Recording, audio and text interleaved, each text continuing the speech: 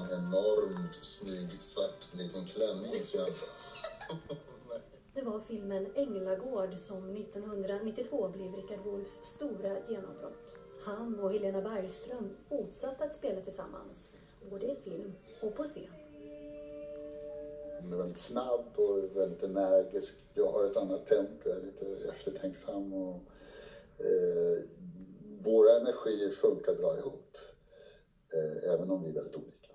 Men säg det i toner och inte i ord. Gratulerar mig!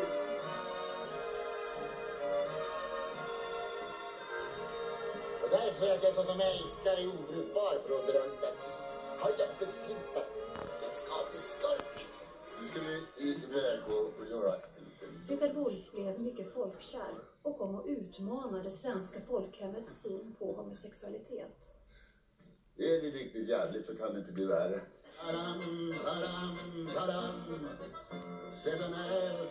Sång är väl nästan det bästa jag kan göra. Jag mår alltid bäst när jag får sjunga.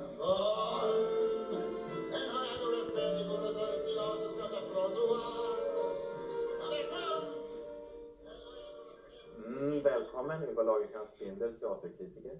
Tack så mycket. Eh, vilket är ditt första minne av, av Richard Wolff på en scen?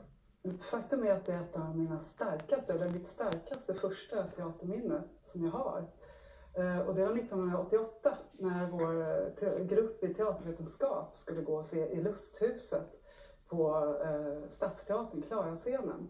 Det var Susanne Ostens uppsättning som var väldigt mycket genderbender då, könsöverskridande roller och Richard Wolff spelade Mrs Constable och, och eh, eh, skred runt på scenen som bestod av en stor bassäng med vatten i en lång vit klänning som jag minns det.